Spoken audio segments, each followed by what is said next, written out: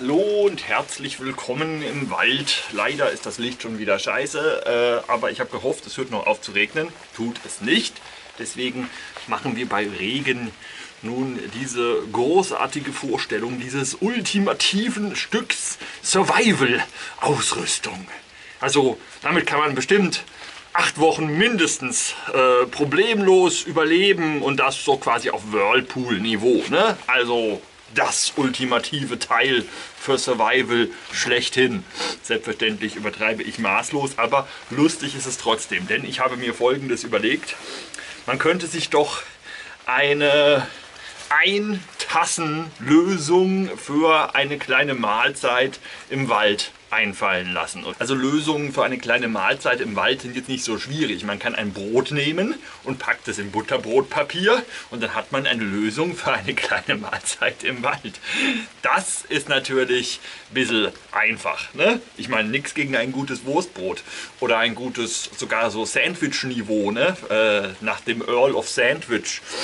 Und ähm, das wäre alles eine Möglichkeit. Aber das ist uns ja zu simpel. Wir wollen ja eine kleine heiße Mahlzeit im Wald haben. Und deswegen hier die äh, weltkleinste Lösung für, für einen in einem Ding befindlichen kleinen heißen Imbiss für den Wald.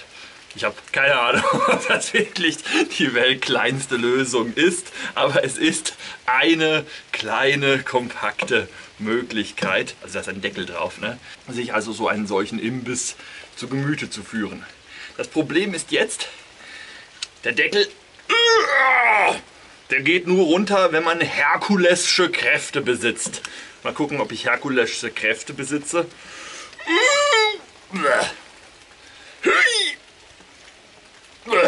Okay, habe ich nicht. Insbesondere nicht in dem einen Finger, den man sich dann halber abreißt beim Versuch mit diesem kleinen Dreieck hier diesen Deckel darunter zu bekommen. Jetzt gibt es verschiedene Möglichkeiten, die man da in Angriff nehmen kann. Möglichkeit 1, das ist so die, die äh, einfache Variante, man nimmt ein beliebiges Messer, setzt es hier am Rande, wo der Deckel ein kleines bisschen einen Spalt hat, an und fummelt da ein kleines bisschen mit rum zack, und dann ist der Deckel runter, gesprengt sozusagen. Ne?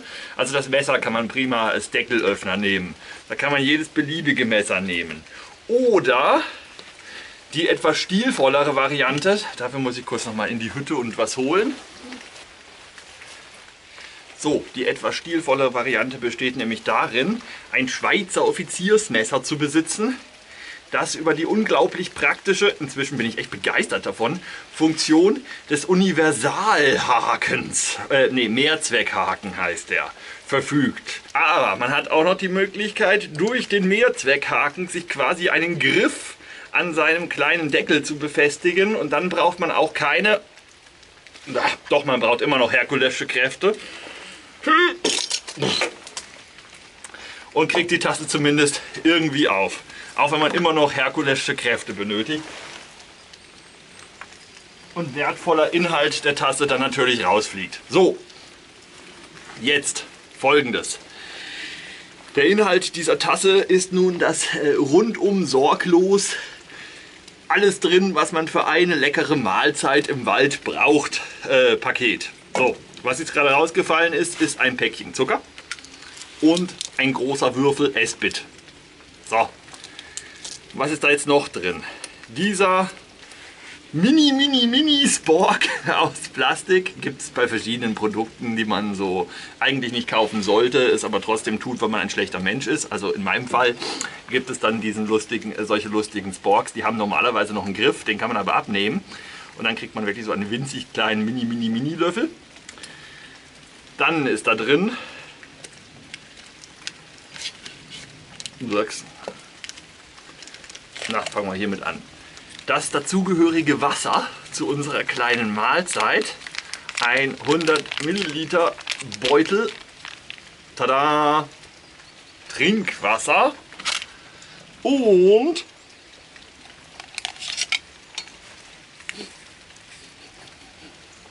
ein Päckchen Porridge. Tada! Also Haferflocken inklusive Milchpulver. Und noch ein bisschen Zucker und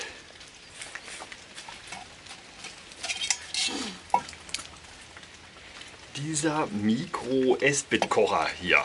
Ne? Also das ist so das kleinste an Esbit-Kocher, was ich kenne.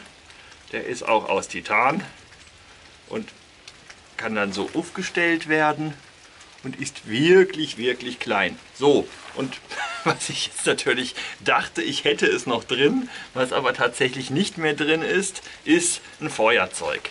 Ja gut, okay, zugegebenermaßen sollte ich dann vielleicht ein Zuckerpäckle weglassen äh, oder vielleicht den Löffel weglassen, was aber auch wieder blöd ist. Ne? Da muss man sich erst einen schnitzen, ähm, um dann noch ein winziges Feuerzeug unterzukriegen. Man könnte ja vielleicht noch irgendeine Alternative zum Feuerzeug, irgendwas kleineres nehmen. Firesteel ist dahingehend blöd, weil da muss man noch einen Striker mitnehmen und damit kann man den S-Bit dann ja immer noch nur sehr umständlich anzünden. Also dann wird es mir schon zu kompliziert, aber Platz wäre zum Beispiel für so ein kleines Kapselfeuerzeug. Das würde man schon noch unterkriegen, wenn man jetzt sagt, man nimmt nur ein Zuckerpäckchen mit statt äh, drei zum Beispiel. Und generell war obendrauf noch ein kleines bisschen Platz. Also grundsätzlich, ich hatte auch mal noch ein Feuerzeug drin, aus irgendwelchen Gründen jetzt nicht mehr. Aber grundsätzlich wäre das auch noch möglich gewesen. So, jetzt ist das Problem, dass so eine Tüte Porridge eigentlich 150 Milliliter Wasser braucht für den optimalen Porridge-Genuss. Aber ich habe hier nur 100 Milliliter Wasser. Das ist natürlich jetzt äh, nicht ganz optimal, das geht aber auch, habe ich schon ausprobiert, kann man auch so dann essen. Es ist halt nicht, wie gesagt, ganz, ganz, ganz optimal. Und natürlich kann man jetzt sagen, ach was, Wasser findest du doch überall, insbesondere wenn es dann abgekocht ist. Aber es soll ja eine rundum alles drin Lösung sein und deswegen eine Wasserkonserve. So aktuell muss ich eigentlich bloß diesen hier machen und dann bekomme ich mit der Zeit auch mein Wasser ist alles überhaupt kein Problem. Na, jetzt kann das inzwischen auch scharf stellen. So, und wenn ich jetzt noch ein bisschen ziele, dass es vom Dach in meine Tasse tropft, dann beschleunigt das die Sache ganz außerordentlich. Und äh, den Rest des Videos stehe ich jetzt so da und warte darauf, dass ich 50 Milliliter Wasser in meiner Tasse sammeln. Das Erschreckende ist, sowas wäre mir durchaus zuzutrauen, oder? ja, davon abgesehen wird das Wasser ja äh, sowieso gleich gekocht. Ne? Also, wir nehmen jetzt unser Esbit-Würfelchen und machen unser Esbit-Würfelchen erstmal auf.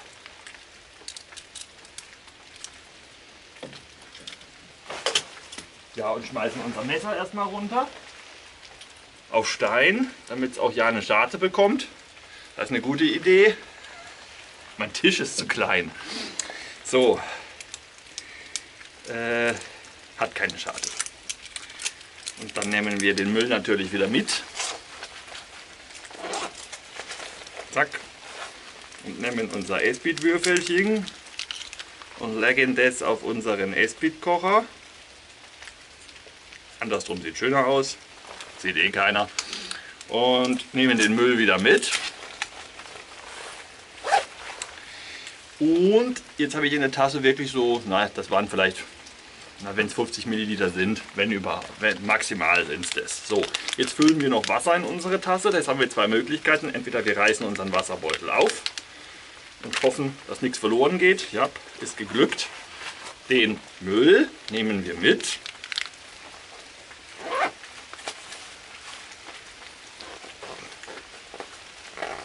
So. Und jetzt füllen wir unser Wässerchen natürlich in unser Tässchen. Vorsichtig, kein Wasser vergeuden.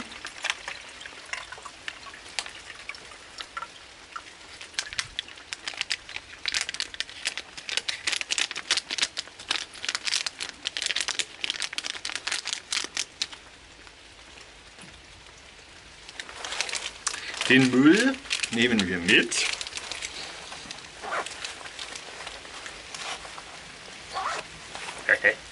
So, jetzt müssen wir noch unser S-Bit anzünden. Ich nehme jetzt, ich hatte noch diverse andere Möglichkeiten zum Feuer machen, so ist das nicht, aber ich nehme jetzt mein Schlüsselanhängerfeuerzeug. Na?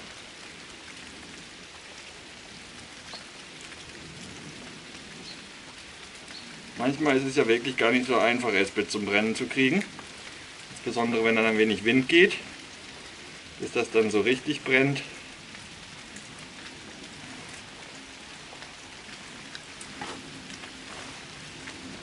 Da kann ich dann mein Schlüsselanhängerfeuerzeug schon ziemlich bald wieder nachfüllen. Der Haken ist bei diesem winzig kleinen Kapselfeuerzeugchen, das reicht halt wirklich für 20, 30 Sekunden Brenndauer und dann ist auch wieder leer. Okay, das sollte jetzt so schnell nicht mehr ausgehen. Ja, ja, und jetzt stehe ich hier im Gestank.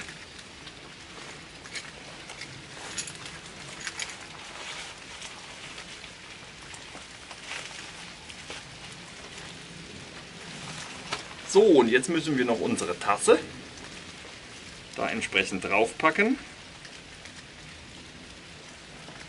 Das sollte auch zeitnah geschehen. Weil wir haben ja nur diesen einen Würfel und der muss reichen. Also normalerweise reicht ein großer Espit-Würfel für 150 Milliliter Wasser. Völlig ohne Windschutz und etwas exponiert. Trotzdem, Wobei man wirklich bei Esbit, Kochvorgängen und auch bei Spiritus den Wind wirklich, wirklich nicht missachten darf. Ich habe da neulich mal ein kleines Experiment gemacht äh, bei Scheißwetter. Ich muss natürlich trotzdem raus, äh, bei Sturm. Ähm, und habe gedacht, gut, wenn du jetzt schon draußen bist, also ich war nicht im Wald, ne? also bestand kein großes Risiko, war halt einfach nur ungemütlich.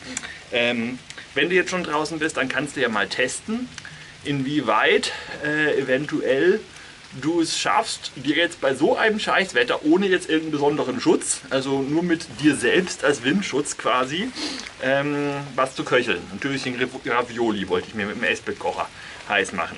Mit meinem ähm, geschenkt bekommenen Selbstbau, äh, das heißt selbst verbesserten Windschutz-Esbitkocher. Ich gehe mal auch schwer davon aus, dass der Windschutz schon wirklich was geholfen hat, aber nichtsdestotrotz, ja, ja, das wird relativ schnell brennen. Ähm, Nichtsdestotrotz ging das richtig lange und unter optimalen Bedingungen, wenn wirklich alles super ist und man nur eine Tasse heißes Wasser haben möchte oder halt eben nur ein heißes Töpflein Ravioli, das muss ja gar nicht zwingend kochen, tut es dann meistens dann trotzdem, ähm, dann kann das wirklich vier kleine Würfel Esbit verbrauchen, bis das dann wirklich so richtig schön heiß ist, da der Topfinhalt. Bei 0 Grad allerdings. So, ja, nicht ganz 0 Grad, so 1 Grad, 1,5, irgendwie sowas. Ja, Jetzt habe ich noch was erzählt und ziehe das Video künstlich in die Länge. Wichtig ist übrigens noch einen Deckel drauf zu machen, deswegen hat die Tasse ja ein. Also das sollte man auf keinen Fall vergessen. Nicht nur, weil es dann länger zum Kochen braucht, sondern weil es dann natürlich auch rausdampft, wenn man keinen Deckel drauf hat. Und man hat ja nur wenig Wasser in dem Eintassen-Set. Deswegen kann man sich nicht leisten, dass da allzu viel davon dampft. Ne? Also Deckel, Deckel bringt es doch dann gar sehr. So, muss hier mal als Windschutz fungieren.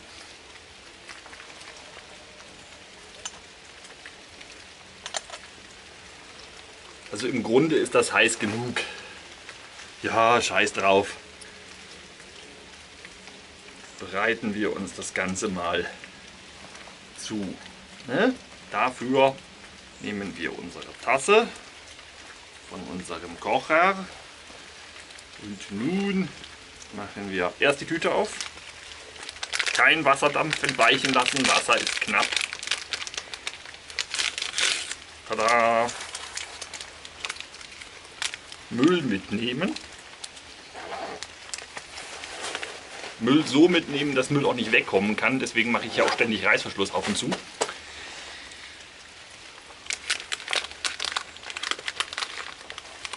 Umrührtool bereithalten.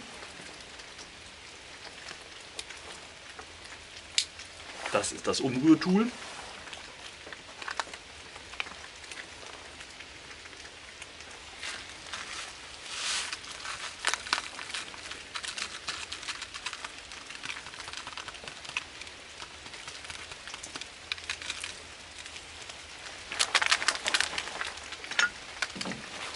Müll mitnehmen.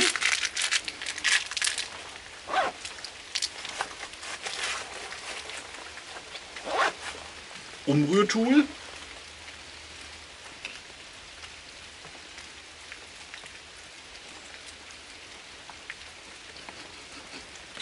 Rühre, rühre, rühre. Und nachdem wir ein bisschen umgerührt haben, können wir dann noch mit unserem Mini, Mini, Mini-Löffel noch ein bisschen weiter rühren. Haben wir jetzt ganz wenig Wasser, aber noch Esbit, dann können wir es theoretisch einfach noch mal drauf stellen. So. Vorsichtig. Die Tasse ist ein klein wenig klein für diesen Halter. Da muss man wirklich Millimeterarbeit machen. Dann wird es noch mal schön aufgekocht. Und dann ist es auch schön heiß und löst sich besser, auch in wenig Wasser. Mmh. In der Zwischenzeit mhm, mh, können wir mit unserem Vorsicht beim Messer abschlecken, sollte man eigentlich sein lassen. Mh, können wir mit unserem Multitool hier und der dafür enthaltenen saupraktischen Nipper-Nappi, also so habe ich Scheren genannt, als ich gefühlt drei Jahre alt war, Nipper-Nappis, ähm, können wir jedenfalls mit dem enthaltenen Nipper-Nappi bereits unsere Zuckerpäckchen öffnen. Vorsichtig. Denn den Müll nehmen wir mit. Ich packe jetzt nicht jedes einzelne Fitzelchen einzeln ein. Ne? So. Zuckerpäckchen 1 und da ich ein Süßer bin, brauche ich noch ein zweites. Warum ich drei mitgenommen habe, weiß ich nicht. Eigentlich brauche ich gar keine drei. Hm.